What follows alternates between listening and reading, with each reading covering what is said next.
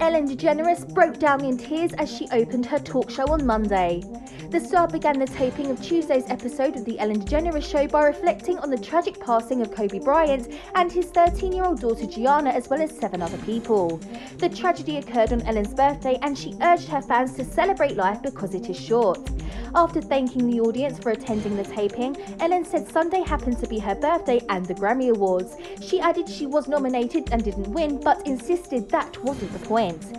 She continued to talk about the sad news and says we don't have to have a birthday to celebrate and said we should just celebrate life.